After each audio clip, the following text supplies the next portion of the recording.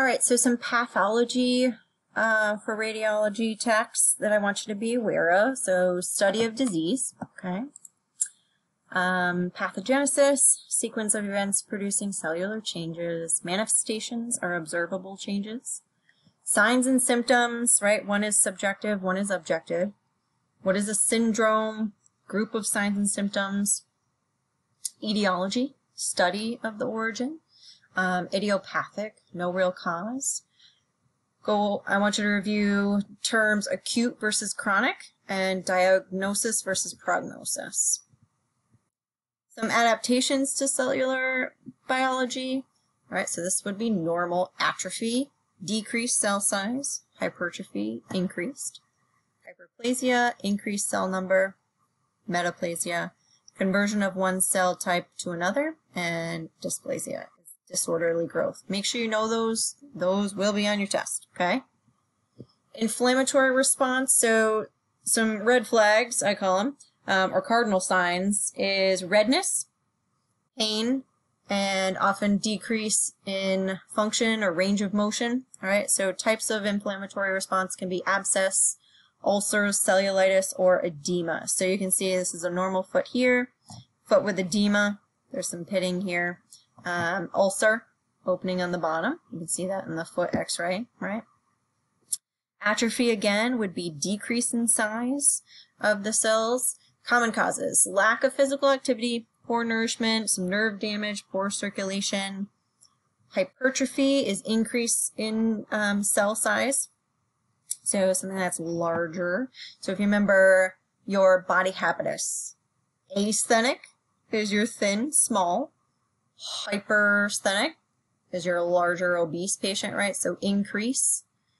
So increase in physical activity can increase the size, right? Hormonal changes, chronic inflammation, so this is a large adenoid mass here. And in this one, you can see their chest wall is basically caved in. So that's a decrease in size. Disease classification. So if you can go through these types, congenital, present from birth, hereditary, transmitted from parent, inflammatory. Okay, makes sense, right?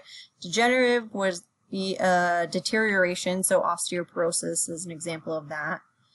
Metabolic, um, diabetes is an example, traumatic, so fractures, burns, something being caused. Um, neoplastic or neoplasm results in the new abnormal tissue growth. They can be benign or malignant tumors. Oncology, study of neoplasms here. So benign is self-limited and will not spread. Bone benign tumors are called osteoma. Malignant will spread bone malignant tumors, osteosarcoma. So make yourself some flashcards for those terms for me, okay? Neoplasm, um, four major cancer ca categories. So carcinoma and adenocarcinoma. This will arise from epithelial cells or tissues such as breast, colon, or pancreas. Sarcoma, relatively rare but highly malignant. So this is the cancer of the soft tissue or connective tissue, so bone, cartilage, muscle, and fat leukemia, cancer of the blood. Um, acute leukemia has immature blood cells that can't fight infection, and chronic is mature blood cells. Lymphoma originates in the lymphatic tissues. Um, it affects the production of lymphocytes, which are your white blood cells. There are two different types. Non-Hodgkin's lymphoma is most common. It affects your spleen, liver, bone marrow, lymph nodes, and GI tract and Hodgkin's.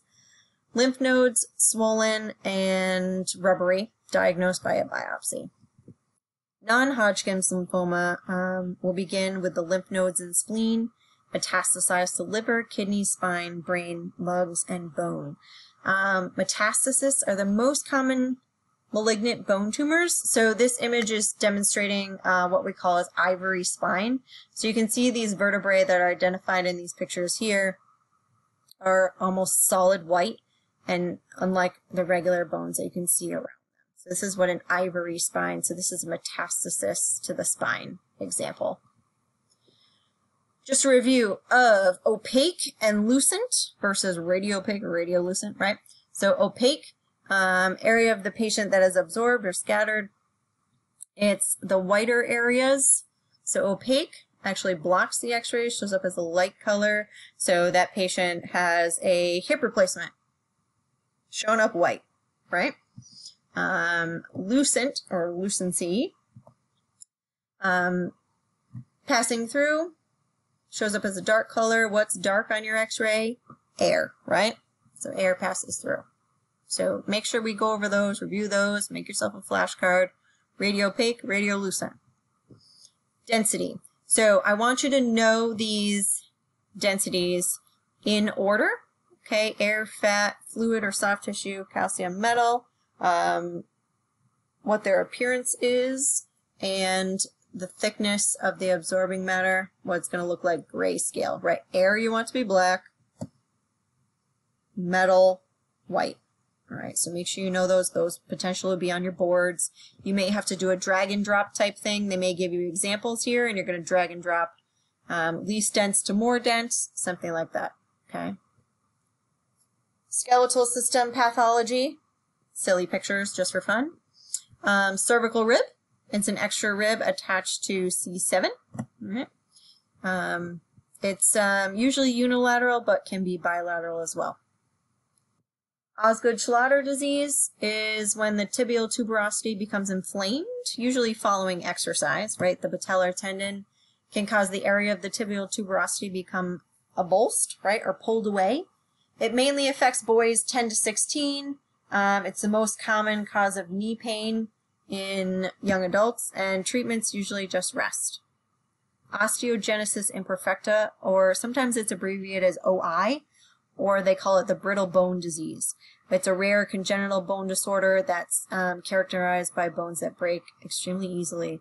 Um, the people with OI are born with insufficient amounts of protein called collagen 1, uh, which plays an important role in the bone formation. So they may actually have um, fractures from in the womb before they're even born.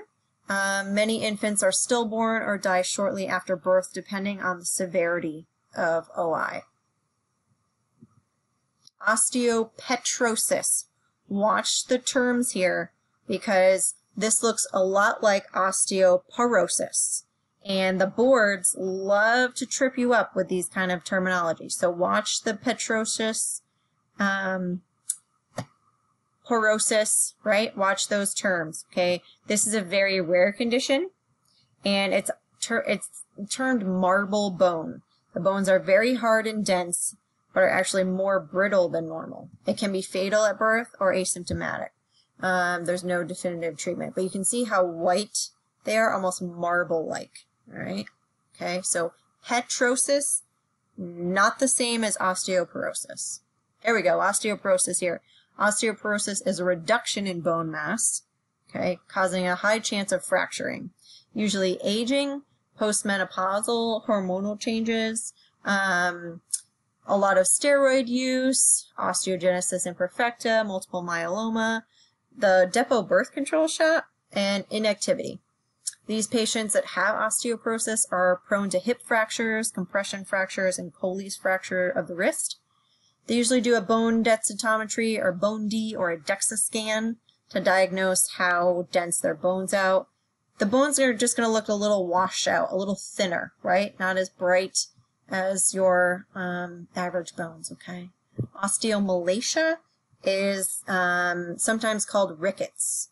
It's the softening of bones, and it's usually caused by a decrease in absorption of either vitamin D or calcium, and it can manifest in children who ingest an insufficient amount of vitamin D or they're not exposed to enough sunlight for us, for our protocol at our clinical site, um, we use bilateral wrists and bilateral knees um, views if they come in requesting a rickets protocol.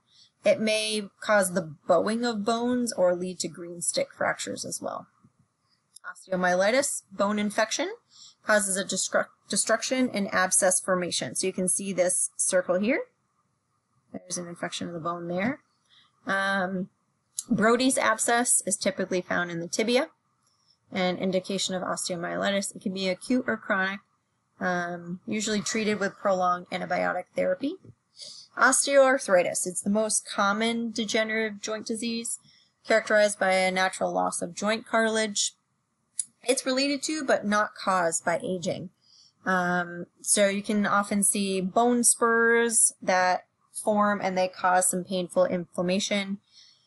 It can affect most joints in the body, and treatment is pain management and or joint replacement surgery, usually total hip or total knee. And in this knee image, you can see a total loss of joint space. So a lot of times we do our standing knees for this reason. We're looking for compression of the joint space. Rheumatoid arthritis, or RA, uh, a type of arthritis that can involve joints, muscles, tendons, ligaments, tendons again, and blood vessels, right? Um, it usually begins as chronic inflammation of synovial membranes. RA can relapse but can have intermittent flare-ups. It affects women three more times than men. Usually some signs and symptoms are morning stiffness or pain and ulnar deviation of the fingers. Gout. Um, it's an increase of uric acid production. Most often you're going to do foot x-rays for gout, but you may do a hand. This is an extremely severe hand. Um, it's usually in the great toe. It can affect your hands and knees, right? But the joint deposits um, in the form of crystals, and they're very painful. So circle this uric acid for gout for me. Paget's disease. It's also known as osteitis deformans. Do me a favor. Circle that, underline it. This almost always is a question on boards, okay? Paget's. It's um, usually excessive bone growth and thickening, most commonly seen in pelvis, lumbar spine, and skull. Most often they're going to give you either this pelvis image or this spine. It kind of looks like cotton wool, all right, around here, kind of fuzzy. So Paget's, know this one for me, okay? Bone tumors, either they're osteolytic or osteoblastic. So osteolytic is a decrease of bone density and they have lucent appearance. Osteoblastic is increase and have opaque appearance. So osteolytic versus osteoblastic, all right? Multiple myeloma, it's the most common type of primary malignant bone tumor. It has this punched out appearance, right? If you have, think you have a hole puncher almost here. Increase in plasma cells, um, the cardinal sign is osteoporosis with a compression fracture. There's currently no treatment. Um, chemotherapy, stem cells, and steroids are used for suppression and containment.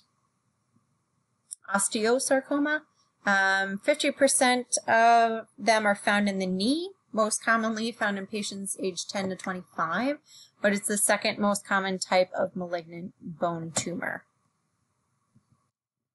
Chondrosarcoma is developed in the cartilage cells, and fibrosarcoma, fibrous tissue. So fibrous, fibro, chondrocartilage. Spondylo, spondylolysis versus spondylolisthesis. Another trick the boards love to use because these words look so similar. All right, but this is a cleft between the superior and inferior articular processes at the pars interarticularis, usually bilateral, common found 90% of the time at L5S1. Okay, so right here, spondylolisthesis is forward movement or subluxation of one vertebrae onto the one below it. right? A lot of times we do spondylolisthesis, we do flexion and extension lumbar spines, looking for that forward movement. All right, meet me back here for chest and abdomen pathology.